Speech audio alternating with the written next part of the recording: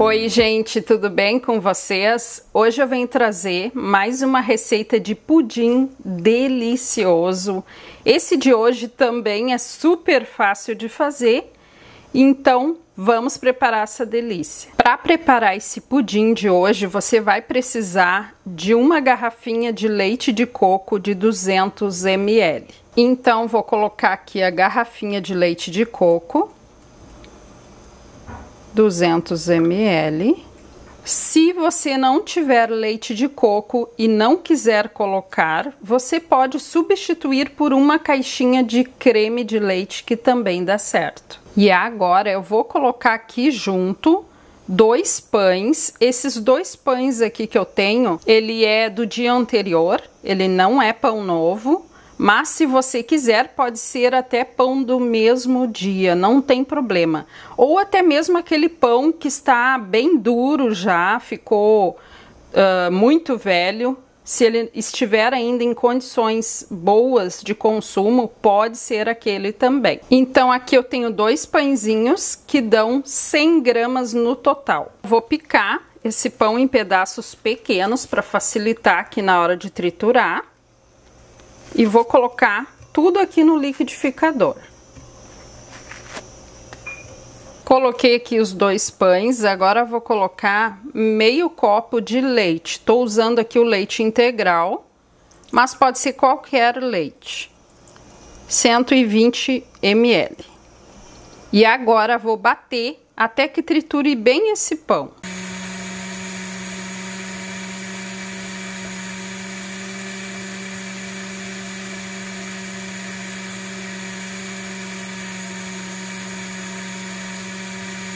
Pronto, gente, triturou bem o pão.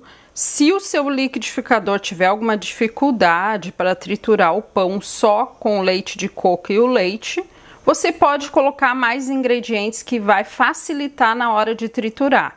Mas o meu conseguiu triturar direitinho. E agora vou acrescentar aqui uma caixinha de leite condensado de 395 gramas. Vou colocar toda a caixinha aqui. Vou acrescentar aqui um ovo, apenas um ovo para fazer esse pudim. E agora vou bater mais uns dois minutos.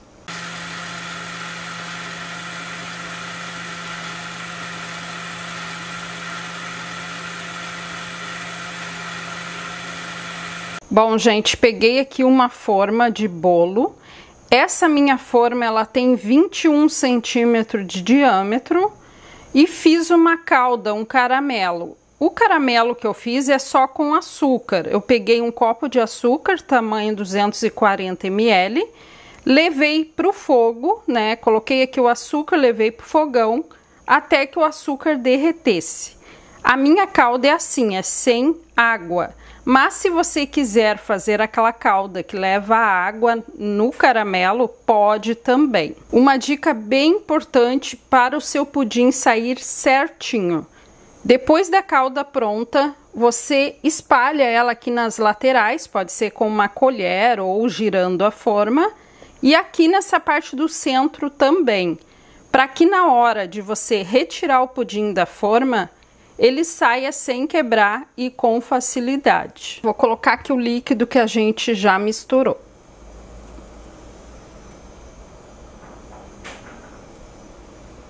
Bom, gente, esse pudim você pode fazer na parte de cima do fogão em banho-maria ou no forno. No forno vai levar mais ou menos uma hora e em banho-maria, em cima ali da parte do fogão, leva mais ou menos uns, no máximo 30 minutos. Pronto, gente, peguei essa forma aqui, coloquei um dedinho de água quente para acelerar, né, o cozimento. E agora vou colocar a forma aqui dentro. Pronto, agora vou levar para o forno a 200 graus. Se você quiser colocar um papel alumínio aqui por cima, fica a seu gosto, mas eu já fiz sem o papel também dá certo. Acabei de tirar aqui o pudim do forno. Aqui no meu forno levou uma hora e eu deixei a grade bem baixo e assei a 200 graus. Quando acabar uma hora de forno, você vem com uma faquinha espeta aqui na massa.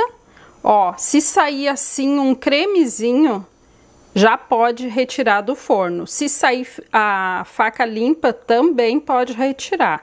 O que não pode é sair líquido aqui. Aí é porque o pudim não está pronto.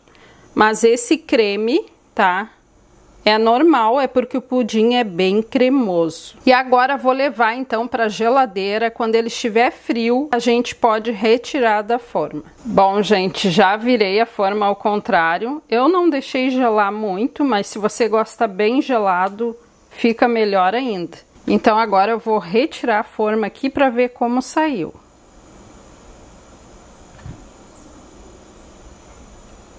Olha, gente, que pudim lindo! Eu peguei aqui um prato bem grande hoje para botar o pudim, mas é importante que você retire ele bem gelado. Eu arrisquei aqui tirar ele um pouco morno ainda, mas fica bem mais difícil. Então agora a gente vai experimentar essa delícia. Eu vou tirar um pedaço desse pudim para experimentar.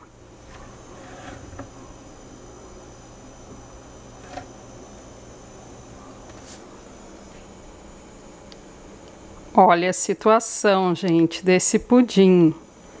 Vou colocar aqui no pratinho. Nossa, gente, delicioso! Então, se você tiver só um ovo em casa, faça essa delícia que você vai amar o resultado. Um beijo e tchau!